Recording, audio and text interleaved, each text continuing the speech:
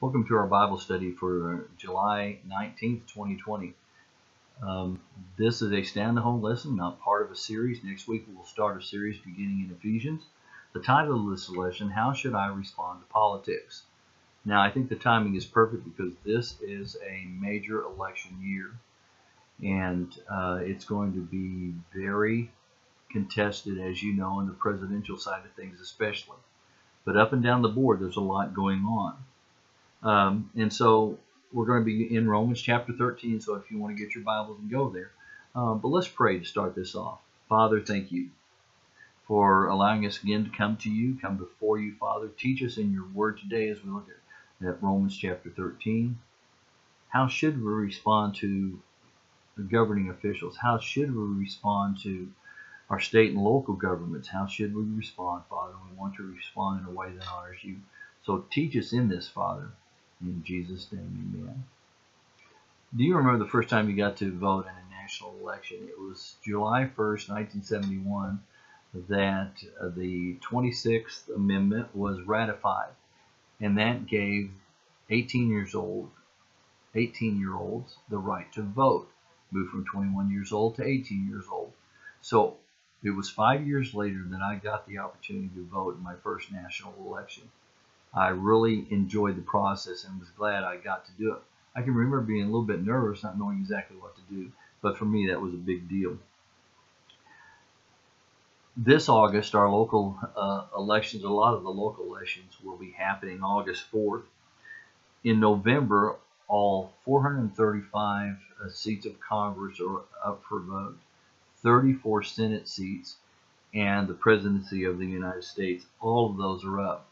Now, usually up to this point, we get inundated with political ads and promotions and phone calls and all that kind of stuff, really getting into it. Now, COVID 19 has kind of squelched some of that, but over the last couple of weeks, I've noticed an uptick in the number of those types of things that I'm beginning to see and hear. Receiving junk mail um, that just has candidates standing. Here's who you should vote, vote for me, and that's what they're saying over these next few months, there's going to be this endless debates, endless discussions about politics and how should we respond. The United States right now is deeply divided, um, and both sides believe they're right. And both sides want to win this election because they believe if they win this election, they can make America great. No matter what people say with the MAGA and all that kind of stuff, both sides want to make America great. They have different ways of doing that. They have different philosophies, but both sides want to make America great.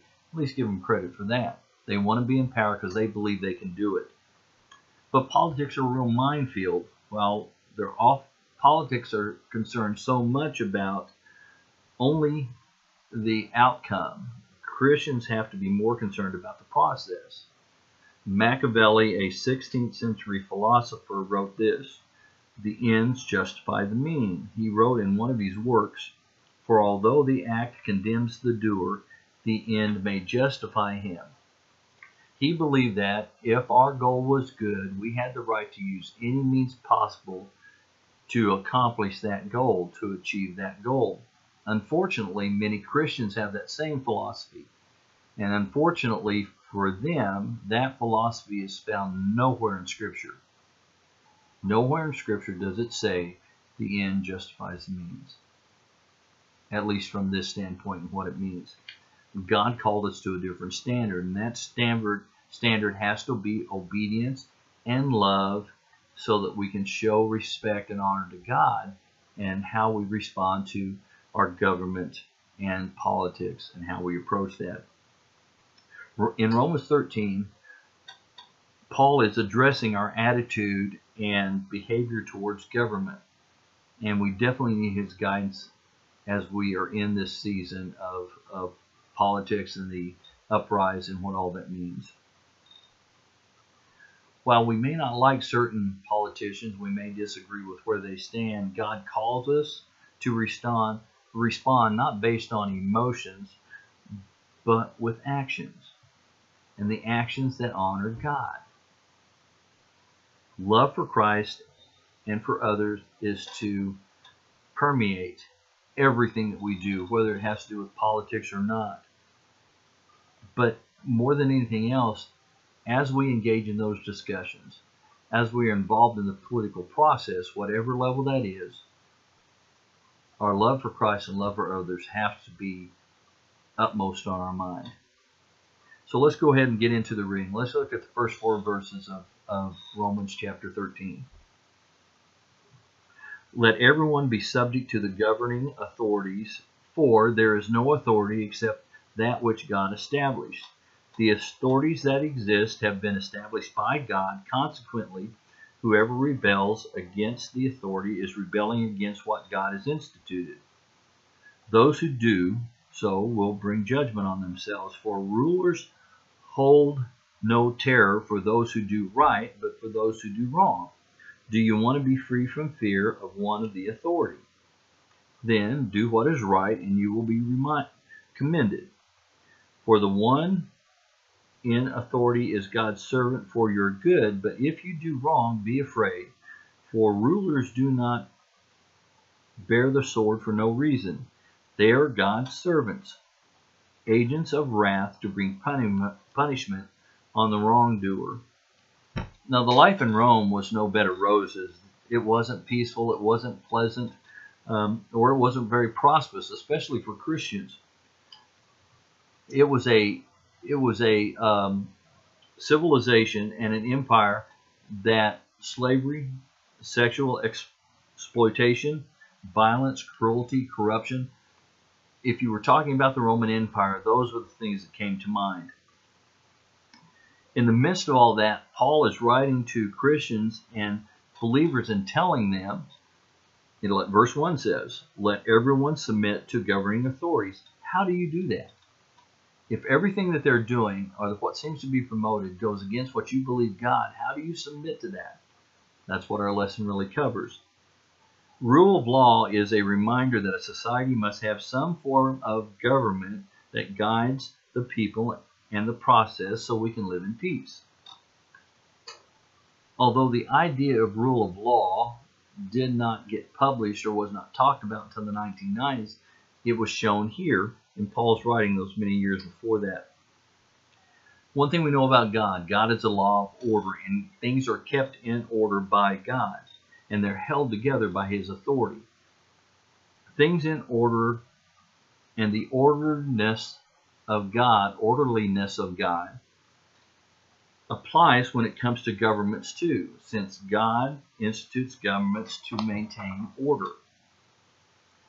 As we live in submission to government, we learn what it means to live in submission to God Himself. Look at what verse 4 says. For the one in authority is God's servant for your good. So, consequently, failure to submit to authority He has placed in our lives is rebellion. It says, whoever, in verse 2, whoever rebels against authority is rebelling against what God has instituted. And think about it, folks. Has government been beneficial to you and been beneficial to your community? And we may look at it, especially with the atmosphere that they're in now, and go, oh, there's no way. But think about it. Governments are run, we know that governments are run by uh, imperfect people. Politicians are imperfect people. Imperfect people do imperfect things. At times, these imperfect things go against the will of God. And this challenge confronts us today. It also confronted the apostles of the day. In Acts chapter 5, if you look, we'll see that the authorities arrested the apostles and instructed them to stop preaching in the name of Jesus. But the apostles said, we must obey God rather than people. Some people use that as an excuse for not getting involved in government, not paying taxes, those kind of things, but we cannot use that as a loophole that allows us to disobey government whenever it suits us. The apostles' example is a reminder that we are to live in obedience to God first, and we are to live in obedience to the government with respect honor, and integrity. Live a life, relate to the government, respond to the government with respect, integrity, and honor. Look at Romans 13, 5 through 7. you know, it's it's necessary to submit to the authorities not only because it's possible because of the possible punishment, but also a matter of conscience. Verse 5 says, Therefore it is necessary to submit to the authorities, not only because of possible punishment, but also as a matter of conscience. This is also why you pay taxes, for the authorities are God's servant. You give their full who give their full time to governing. Give to everyone that you owe what you owe them. If you owe taxes, pay taxes. If revenue, then revenue. If respect, then respect. If honor, then honor. Our testimony shows up in everything that we do, even politics. So, Christians are to be model citizens. We are instructed in verse 5 to submit not only because of punishment, but also as a matter of conscience. So, we are to do our best to represent Christ in the way we live our lives, and we do that by living a life of integrity and honor related to our community, to our government. Jesus, in his Sermon on the Mount, added an element of servitude to that obedience. Again, he's dealing with Roman people that were lording over the Jewish people. And here's what he said If anyone forces you to go one mile, go with him too. That comes out of Matthew 5:41. Jesus also said, Give then to Caesar the things that are Caesar's, and to God the things that are God. That's out of Matthew 22:21. Many things may belong to the government, but everything belongs to God, including government authorities. The authorities are God's servant. Our obedience to govern is important. To government is important because of these three reasons. God uses government to build us up. From road building, maintenance, to emergency, to feeding the poor and the elderly, there are many ways that the government helps us. The government's ultimate role is to look out for the nation, the community, the state for the betterment and the well being, and so its citizens can prosper. Secondly, God uses our lives as testimony of his faithful love and unselfish grace. The world's watching how we live. We know that. Believers are were first called believe, were first called Christians in Antioch. Now, in that day, that term was an insult, was used to insult them. But really, what it was doing is it was expressing what they were doing. They were living a Christ like life, a life that honored God. When we live as good citizens, people learn the faithfulness and unselfishness and the unselfish grace of God. Number three is God uses governments for his purpose. God is working on his provincial problem. God's working on his plan. I can't say the big word, sorry in Acts 17, it says, From one man he has made every nationality to live under the whole earth, and had determined their appointed times and boundaries of where they live. We are sometimes so focused on our own lives and, and what's happening in our lives and our concerns that we forget that God's working. God's working all the time, even in government. We forget that. So remember, live your lives to honor God every day. Don't get so focused on your own personal concerns and all that you lose sight of the fact that God is in control. The next couple of verses, we will discover we are to respond to political debates and disagreement with love, not hate. So often I see people on Facebook, social media, throw something out there, and sometimes they throw it out there just to start an argument lots of times they throw it out there because this is truly what they believe, knowing that um, there would be some backlash from that from some people. I'm very careful about what I put, and there's been times I've been so tempted to write something on Facebook. Uh, no, let's back off because I want it to come across with love and respect. I do not want to do anything that would cause somebody hurt, but there are I do have some strong beliefs about some things. But it's rare that you will see me post those on any social media. But let's go on and read verses 8 through 10. Let no debt remain outstanding except the continuing debt to love one another, for whoever loves others has fulfilled the law. The commandments you shall not commit adultery, you shall not murder, you shall not steal, you shall not covet, and whatever other command there is may be and are summed up in one command love your neighbor as yourself. Love does no harm to a neighbor, therefore, love is the fulfillment of the law. Now, it may seem that Paul has um, stepped away from the political aspect of things and government talking about that and moved into loving your neighbors. Well, that's not the case because if you look at it within the context, he's dealing with our approach to those that we disagree with.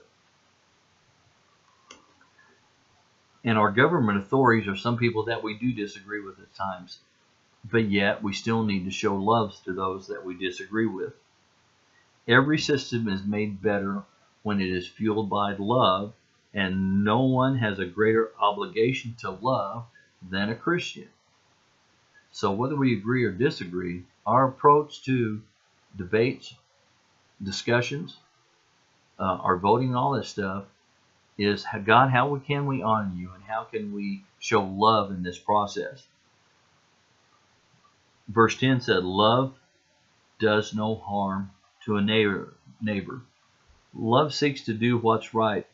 When our, when our political actions are driven by God's love, our love for God, and love for others, we will lose selfish attitudes. Our political actions must line up with Jesus. Our vote must glorify God. We do this when we care about all the things that God cares about. This also means that Christians should never compromise our witness for a political agenda. It is right to support politicians when they support what God teaches. But in the same way, we should be willing to call out those same politicians when they're wrong. Either way, we must always serve God first and we must always show love in the process. We all have times that we disagree with the government and the position they've taken or a law that they've passed or established. So, how should we respond? Here's a couple of scenarios. Is it okay not to pay taxes to the government because it says abortion is okay? Or what about the, the fact that we believe that our government officials are corrupt, so why should we mess with even obeying them? Well, look at what verse 7 says. Therefore, love is a fulfillment of the law. Whether we agree or disagree, and you look back at what it says, we are to submit to authorities unless that authority is going against what God teaches. And we have to even be careful then. It's not our interpretation of what God teaches, but what does the Word say? When you get into Scripture, what does it say? When when we get involved in politics, whether it's just going out and voting, whether it's just talking about somebody or maybe run for an office, our standards are to be higher than the world, And we should have a higher value on what how God looks at how we look at life because of how God sees us. As we follow Christ, we should stay out of all the verbal bashing and the the nonsensical chatter that goes into politics, and so often that degenerates into something that that is just hateful. We are to point to Jesus our example and deliberately aim to reflect his love in our lives. We should respect those in authority over us and pray for them that they will be successful in their God given responsibilities. Scripture has example after example where God has used ungodly people to accomplish his task. Whether we believe a politician is a godly man, godly woman, or not, we should be praying for them. First and foremost praying that God will touch their life, praying that God will guide the decisions that they make. That they will come to know Him if they don't. They will come into personal relationship if they don't. That should be our number one responsibility when it comes to being involved in politics. The point of this lesson is to help us learn to reflect Christ in how we interact with politics and the government. Titus 3:1 says this Remind them to submit to rulers and authorities, to obey, to be ready for every good work when it comes to the politics of our day, how can we reflect Christ's love? Well, here are three ways that I think it's possible. First off, practice love. Again, we are in a season of election, so politics is a common topic of discussions. At times, we as Christians find ourselves at very much uh, at odds about what we believe and at odds on an issue. But we have to maintain love for others in our conversations and our discussions. Sometimes it's better just to walk away because that may save your reputation. It also may keep you from saying something that will um, show that you there's not love in your heart. But sometimes you can stand wanting to honor God with that. And if you do that, God will honor you with that. Number two, dive into the Word. As you get into issues that we face, as you hear about um, things that are about to happen, you find out uh, what platform a person is running on, what they stand for, those kind of things. Dive into the Word. Find out what God's Word says about whatever it is that you're dealing with. See how it speaks to those issues, but continually seek to align with God. But again, folks, do it with love and humility. God loves them too, whoever them are for you. So don't assume that you're somehow better because you're a follower of Christ and they may not be. God died for them just like he died for you. So folks, whatever you do, make sure you love and humility are central to what you do. And third, participate. Are you active participant or you just complain from the sidelines? Have you been involved in the voting process? Are you out there trying to influence the discourse? And in the old days, they would do that standing on the public square, voicing their opinion. Um, preachers would do that, would stand. Itinerant preachers would come to town and they would preach God's word God's message. Have you been involved in political process? Now, you may not run for office, you may even get involved in debate, but you can pray and you can vote. And I believe it's important for us to do that. Get active, but let your love for Christ be the influence that you have. No other reason. You get out there, you you're wanting to vote against somebody because you don't like them, or are you voting against them because they're not standing for what you believe God wants them should be standing for? Can you support the other person for the same reason? Are you struggling with that? Again, folks, pray. Pray. Pray, pray. Ask God to bless them for believers, um, we have to learn it's okay to disagree, but we also have to learn we should not be disagreeable. We can agree to disagree and still remain friends. We can agree to disagree and be very civil toward each other. We can agree to disagree. You know, sometimes we may lose, but, you know, honestly, that's okay. Even though we may not believe it is, but honestly, that's okay because ultimately, in the end, God wins, folks. And if we stand on that, yeah, we're going to lose a battle every now and then, but God has won the war. And that's an exciting thing for us to stand on. Let's end with that. Let's have prayer. Father, I thank you. I thank you for allowing us the opportunity to uh, come before you in Bible study again, Father, as I've said. Father, again, we are in this process of election. And Father, uh, based on your word, I understand and know that the government is put in place for our good but it's also run by imperfect people, whether you're Republican or Democrat, independent, or one of the others. None of us are perfect, but you are. So, Father, my prayer is those politicians that know you as their Lord and Savior will go to you first as they begin to make decisions, as they look to that process. That they will go to you first in their search for what is best and what is right. And Father, that by the way they live their lives, they will influence those maybe on the other side of the aisle, they're on the same side whether Republican or Democrat, that some of those can come to know you because of that person being involved, whether it's local, state, national. And uh, Father, be with us as we participate in politics, as we vote. We want to honor you, Father, in all that we do. And so, Father, with our voting, we want to honor you. When we get in debates for people, we want to honor you. Help us do that, Father. Help us be of honor to you. I thank you and praise you, Father. In Jesus' name, amen. Folks, thank you for listening, and thank you for being part of this study. Again, this was standalone. We're going to be in the book of Ephesians, so get ready for it next week. I look forward to being back here, and you all take care. Have a great week.